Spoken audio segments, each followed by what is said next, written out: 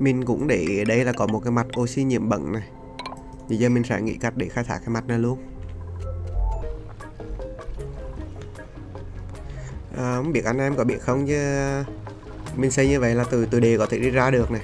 Nhưng mà nó đi vào cũng được thôi đi vào là cần cái này nhưng mình mình xây đi ra thì mình xây mấy cái đường này là từ đề nó vẫn có thể nhảy ra chỗ này. À, xây như vậy. Xây như vậy cũng được. Đó là nó sẽ đi ra được cũng hay đó. À, anh em ơi à, đây là cái mô hình mà để à, khai thác cái mặt à, oxy bẩn này. Thì nhất mình xây một gạch lớp vàng thô. Gạch này là gạch thông khí còn trên là gạch lưới. Mình, mình đổ nước vào đây ở đây là mình đổ hai lớp một lớp đầu á, là mình để đúng hai loại chất lỏng bất kỳ. Nhưng mà vì ở đây là nhiệt độ có 60 thôi mình nên mình sẽ không sợ tụi nó bị uh,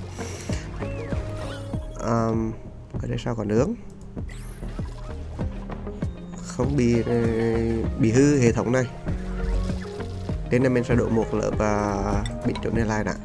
Mình đổ uh, một lớp nước lạt sạch trên này và trên trên cùng mình sẽ à, uh, xây mấy cái máy này. Mấy máy lọc.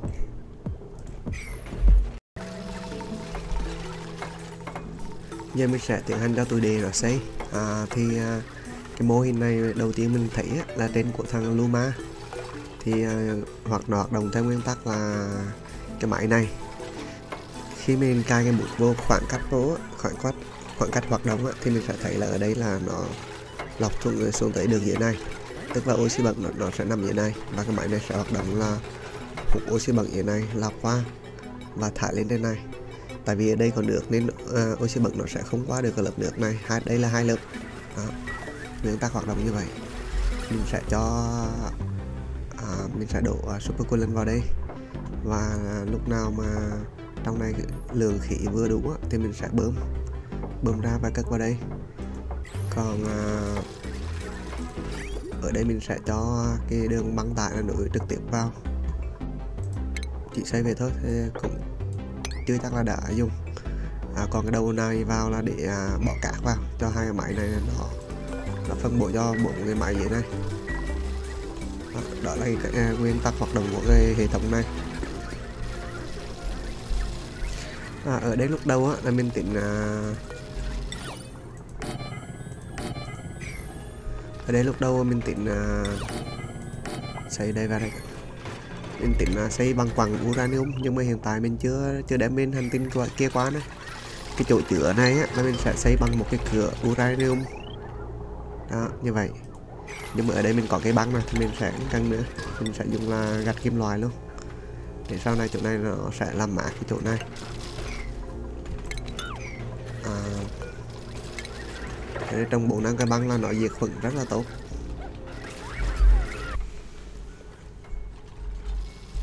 À, ở đây mình cũng đang à, tận dụng là cái à, nhiệt độ trong này. Sau này mình trồng cây trong này là 30 ly thì nó cần nhiệt độ cũng khá cao. Quay trở lại với cái um, đồ của mình nó sẽ biết đây. Ở đây nó cần nhiệt độ từ 35 tới 85 độ thì mình cần phải có nhiệt độ à, cơ bản. Xong sau đó mình sẽ cắt cái ống này có có thời gian thì mình sẽ dọn dẹp sau nhưng mà trước tiên là sẽ làm nóng cái môi trường trong này.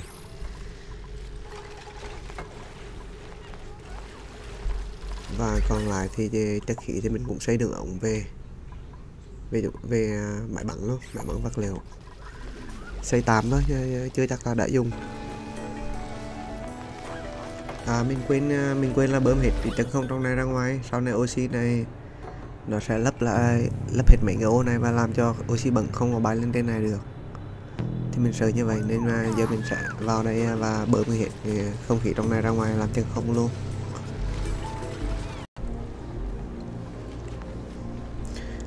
Tìm cả bản đồ mới được uh, cục đá tệ trắng này. Mười, mười mấy ký chán ghê luôn. Giờ mình phải bơm oxy bẩn trong này ra ngoài.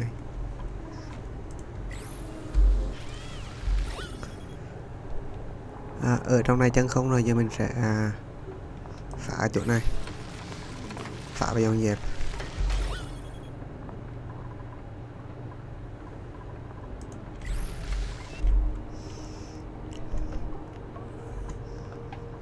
À, mình vừa mới đem à, hạt giống à, bám lily bên kia qua nhưng mà mới chỉ được 45 hạt á. Thì có bao nhiêu mình trồng bấy nhiêu đã ở đây mình đang tích cực à, bơm à, khí hydro với khí à, CO2 ra ngoài à, oxy bật nhé.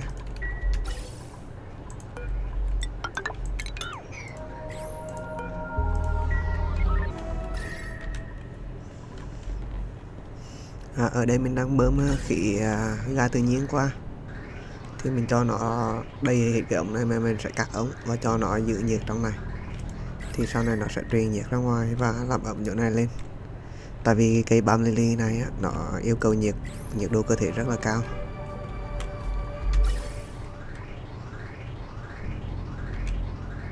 Nhiệt độ của mình vào ở 131 độ luôn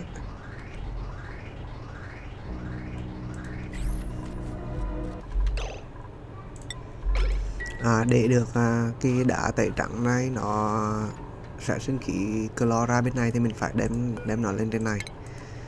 Thằng đề nào? Chặn cái thằng đề này kia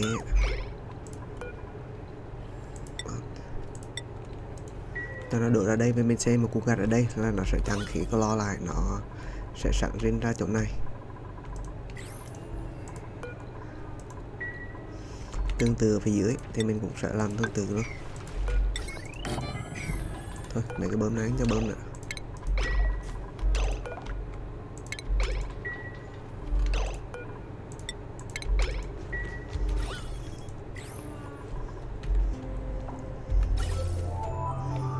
à, để duy trì nhiệt độ trong này nóng được thì mình sẽ phải à, để gọng này. Cố gắng bơm một ít khí ra ngoài chân không á để à, nó tiếp tục truyền nhiệt á. À đường ống vào của mình là tới à, 120 mấy độ và chờ nó truyền nhiệt ra xung quanh hết ạ, rồi mình sẽ bơm bơm ra ngoài. Ở đây mình đang xây bằng ống vàng thô nhưng mà truyền nhiệt kém lắm. À, nhiệt độ nó giảm từ từ.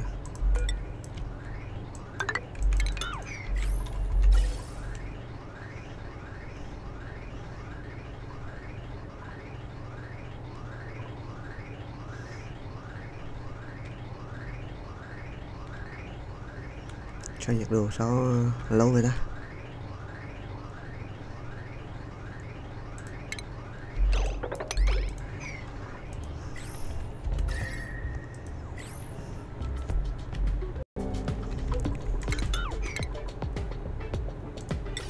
À, ở đây mình sẽ xây một cái mô hình điện bằng à, khí à, ga tự nhiên.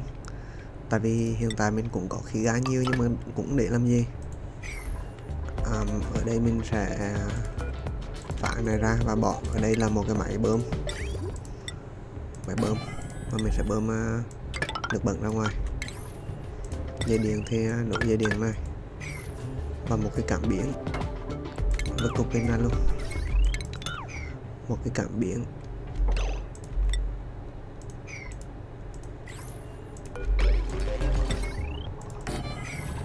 mình vào cục pin này để xây cảm biến ở đây cảm biến là cảm biến áp suất áp suất đợi vào. Đường ống thì mình sẽ xây đường ống à, đường ống à, bằng thô này được.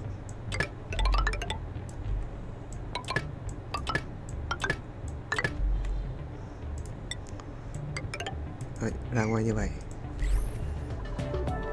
và xây cầm dây cảm biến cảm biến à, nó sẽ pin này sẽ điều khiển à, mấy cái um, cái máy của mình. Nó như vậy. Quay lại với cái vương thống á, thì à, ở đây mình xây cũng gần xong rồi. Chờ việc nó trong rồi thôi. Cái thông này là mình không trồng gần được nên mình sẽ trồng theo cái mô hình là một cây rồi ở một ô rồi trồng một cây.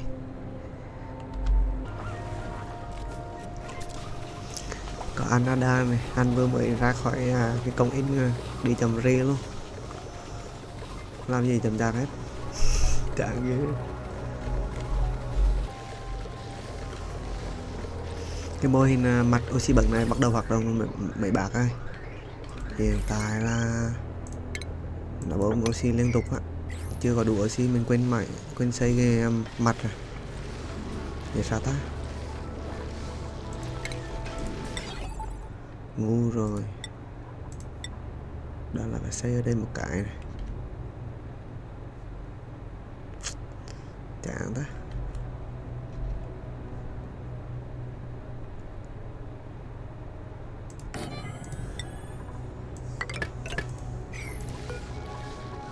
Ở đây từ để xây xong này. Rồi sau đây là cái à, cái cách mà cái mặt này hoạt động này.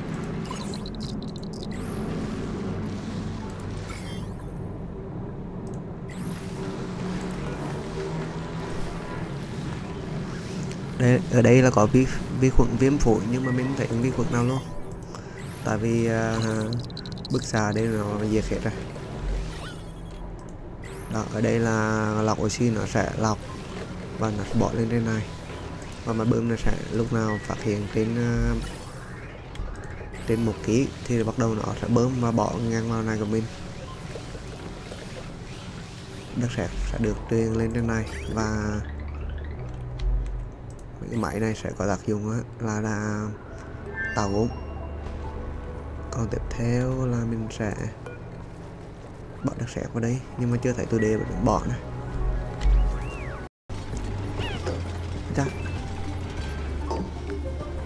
sẵn bên kia có một động à, gốm. Thì mình à, à đất sét chứ. Thì mình sẽ chế tạo gốm ở đây luôn. Cho mấy cái máy này. Ở đây mình sẽ xây một cái băng tải nữa là sẽ đi qua đây. Qua đây. Thả ở đây. Ở đây thả ở đây. Đợi như vậy. Còn ở đây mình sẽ xây một cái à, bịt chỗ nó lại. Để tránh tình trạng à, cái máy này nó bắn phóng xa mà lọt qua tới bên này là trúng thang đề này. Mấy bà ấy cái mô hình này nó hoạt động trên cả mong đời luôn. Mấy bà coi này nhiệt độ này. Ở đây là nhiệt độ đang 3,9 độ bên này là đang một độ C. Không oxy thì vẫn đang tích cực bơm vào. Nhưng mà mô hình này hoạt động hiệu quả lắm. Chỉ có một chút lỗi trên này là mình có một ít nước vào đây. Là làm cho nước biển nó không có tràn vào đây và nước, nước sạch nó lên trên này nhưng mà không sao nó vẫn chưa bị lỗi gì hết hiện tại là hệ thống này hoạt động rất là tốt. Đó, mình có rất là nhiều oxy rồi. À, ở trong này mình đủ nhiệt độ nhưng mà thiếu áp suất anh em giờ mình phải xây một lớp gạch để cho áp suất nó nén vào lại.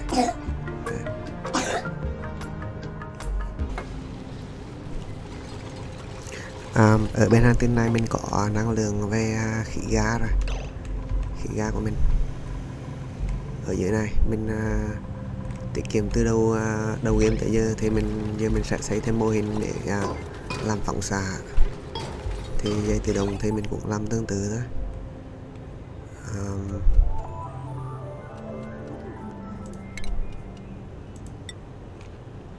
dây này sẽ được ở đây. Được rồi.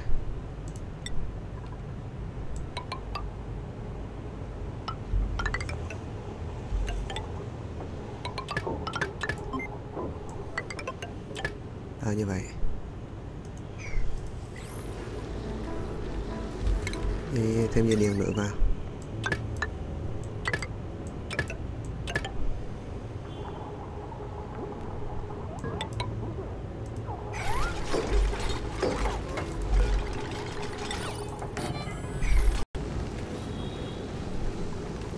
À, giờ mình sẽ dọn dẹp và dọn dẹp phá mấy cái thang này và mình sẽ dọn dẹp cái động này và bắt đầu mình trồng cây băng vào là được. Cái băng ở Antin này thì mình à, có rất là nhiều. Rồi như vậy. Tạo thang này.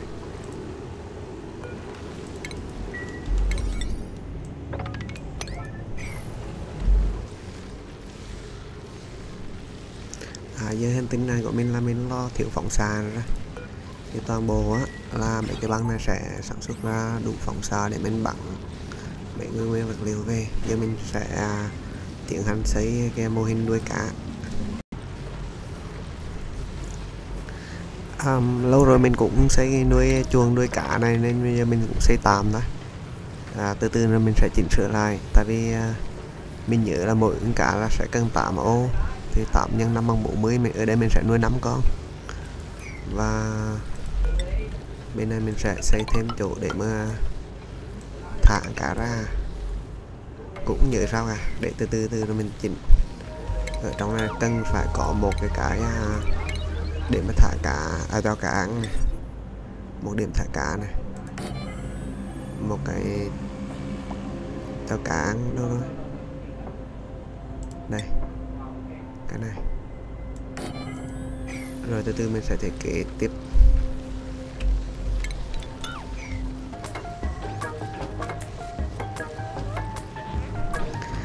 À, giờ sau đây mình sẽ thiết kế luôn cái um, à, cái, cái tự động hóa trong cái chỗ mà à, nuôi cá này. Thì đầu tiên mình sẽ cần một cái cảm biến cảm biến à, sinh vật này. Nó sẽ báo à, mình mỗi giữ trong này bao nhiêu con à, bao nhiêu con cá. Là cần phải có hai cái ở đây mình sẽ cần cần một cái cổng à, là cổng à, bộ nhớ nè. Đúng rồi. Bộ nhớ này. Tại vì mình muốn đặt trong này hai điều kiện. Nên mình cần phải cần à, cái cổng bộ nhớ này. Um, tiếp theo là mình sẽ cần một cái uh, cái băng tải này.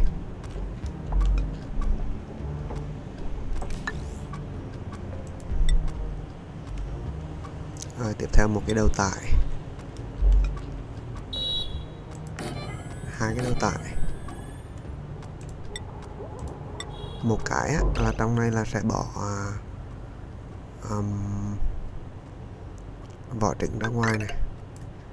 Còn một cái này à khoan. Một cái là sẽ bỏ uh, cái đầu tiên là sẽ gấp trứng vào đây. Và nếu mà nếu mà muốn quay trở, cho nó quay trở lại, thì sẽ thả lên đây. Bỏ lên đây một viên gạch. Đây đi. Và cái đầu rơi là ra ở đây. Đó là con cá. Còn nếu mà mình trong này đủ cá rồi thì nó sẽ đi ra ngoài và tại chỗ để giết mổ của mình. Khả năng là đây.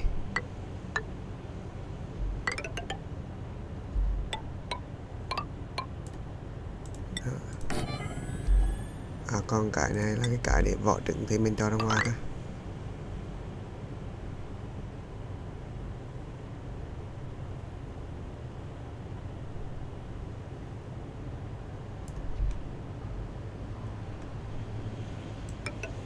rồi như vậy.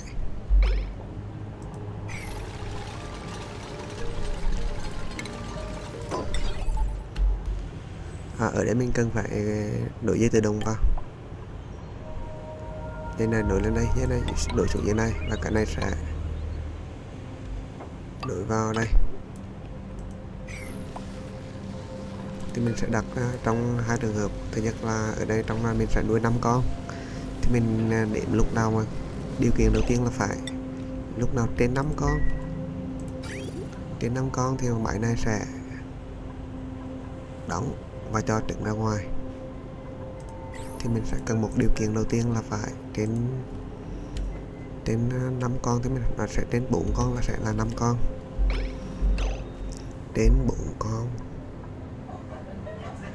Tức là tín hiệu xanh, thì lúc đó nó sẽ là 5 con. Thì nó sẽ là một tín hiệu xanh cái cổng này là cái cổng um, cũng hơi phức tạp này.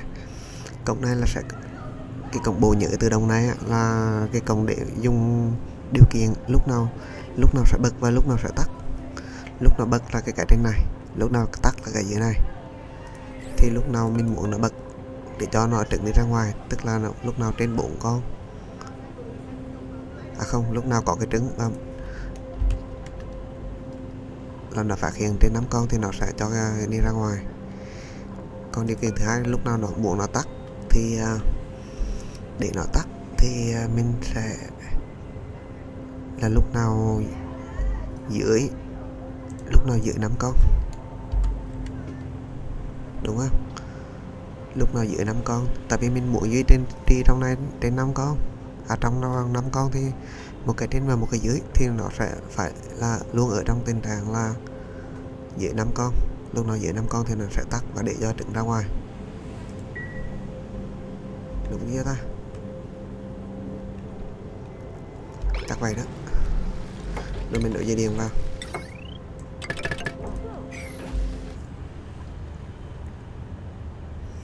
À, ở đây mình cần à, xây à, khoảng cỡ 4 năm cái bẫy là được rồi. Chừng đó thôi mình cần khoảng năm cả thôi.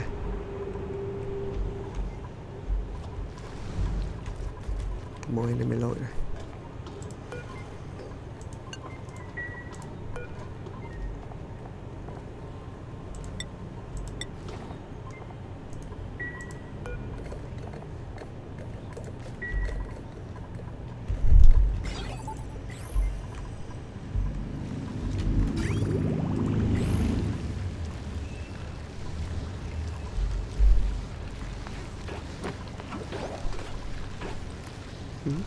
Bạn ai bơi à? Bơi trên không à?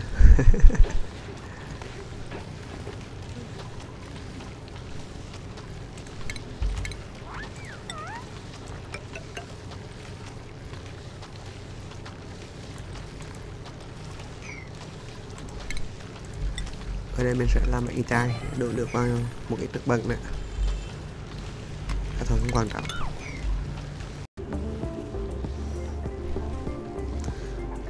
Chỗ này mình vừa mới trồng thêm cây băng nên giờ hiện tại là không bao giờ lo chuyện là thiếu hạt nhân. Đây. Đó. vào chừng nào là nó bắn cái chừng đó thôi.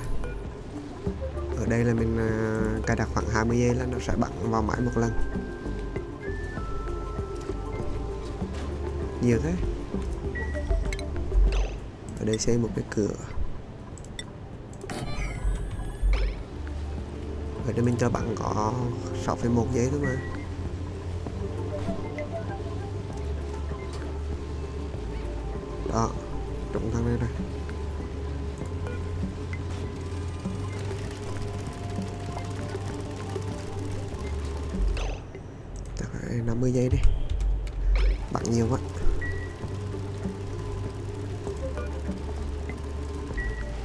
Và khi, một khi mà đã hết thì ở đây mỗi mỗi cái là sẽ nhận được 130 đến 140 thì rất là nhiều.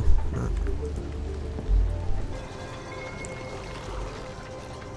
có cái thằng Atkan này. Trời ơi là trời.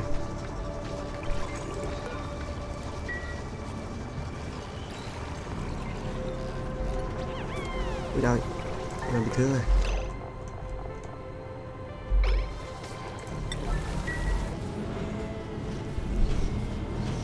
Bên này tình hình sản xuất cũng, cũng hơi bị là tuyệt vời luôn 25 tấn này Mình có 4 năm máy luôn rồi 1, 2, 3, 4 5, 6, 7, 8, 9, 10, 11, 12, 12, 12 máy. Tôi để tôi để lúc, lúc nào rảnh thì nó sẽ chuyển gốm vào đây à, chuyển đất sét vào đây. Ở đây mình sẽ xây thêm một cái cái để máy nhân vật liệu.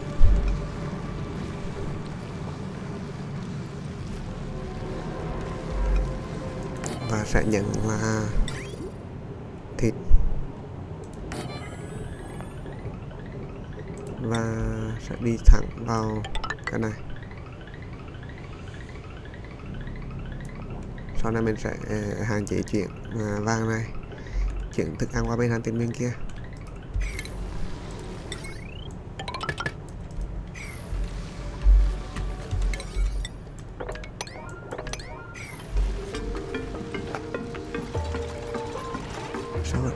Sao ở đây nó vẫn bảo là đông đúc ta?